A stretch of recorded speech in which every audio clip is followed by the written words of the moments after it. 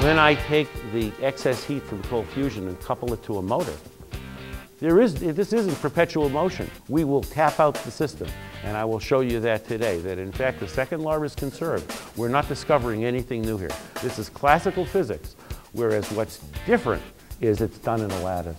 This is, these are results from the NSF EPRI meeting of October 1989, which was the very first time that people uh, learned from Fleischmann Pons that excess heat comes out in bursts.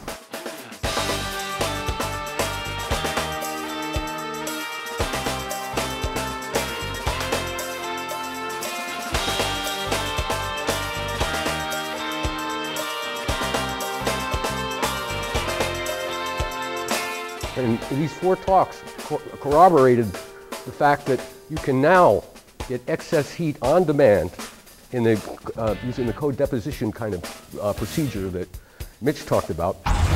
Some of the things that we believe we've observed, you know, questions of are there X-rays, gamma rays, alpha particles, MEV protons, neutrons, elemental transmutation, visible underwater melting, and even acoustic explosions.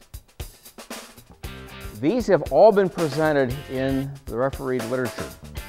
Over 17 papers that have been published by the SPAWAR group since this field began in 1990 for us.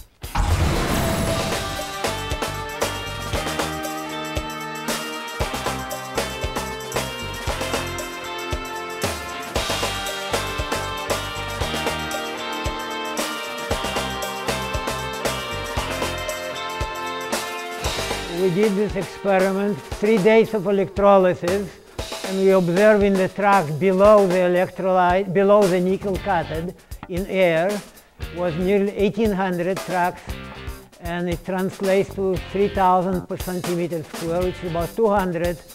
I was really jumping and happy that I finally saw it with my own eyes. This period here is loading.